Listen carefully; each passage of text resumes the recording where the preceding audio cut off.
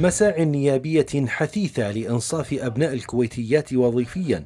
لاقى صدى إيجابيا من الحكومة التي وافقت على السماح بأن تكون أولوية التعيين بعد الكويتي لأولاد غير الكويتيين من أم كويتية. يعني خطوة جيدة من الحكومة وبلا شك بأن التركيز على أبناء الكويتيات والتركيز كذلك على يعني أبناء الكويتيين البدون. زين؟ لتوظيفهم. بلا شك هذا يساعد في يعني معالجة الخلل في التركيبة السكانية لأنهم فعلا هؤلاء أبناء البلد. فالتركيز عليهم ومساعدتهم وتوظيفهم راح يعالج المشاكل الموجودة في التركيبة السكانية. زائد أنه يفترض أن نسارع في تقديم تشريعات من شأنها فرض على القطاع الخاص نسب معينة لتحديد العمالة الوطنية.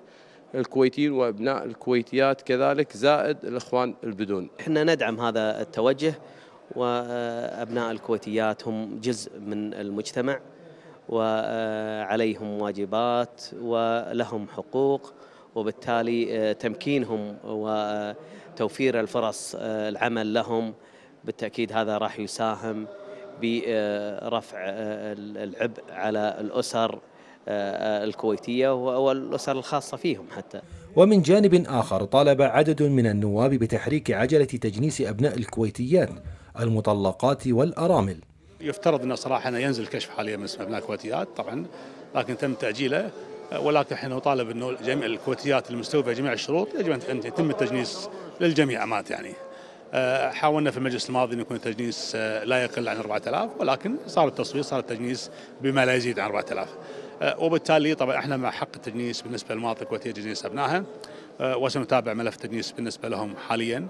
وكذلك مثل ما صار الآن لله الحمد مكرمة أميرية من سمو الأمير الله يحفظه بإعادة صرف الجناسي لمن سحب جناسيهم كذلك يجب أن ينظر بالنسبة لمجلس الأمة والحكومة على موضوع تجنيس أبناء الكويتيات سنتابع هذا الملف بإذن الله.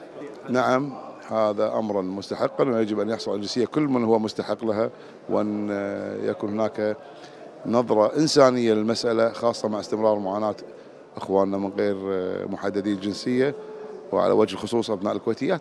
هذا كلام يجب أن يجد طريقة إلى التنفيذ لأن الناس ملت من الكلام الكثير دون اتخاذ إجراءات. طيب إذا الحكومة متفقة ونحن متفقين وين المشكلة؟ المشكلة في التأخير والتأجيل وهذا سيعتبر وصمة عار في جبين الكويت إن تستمر هالقضية بدون حلول.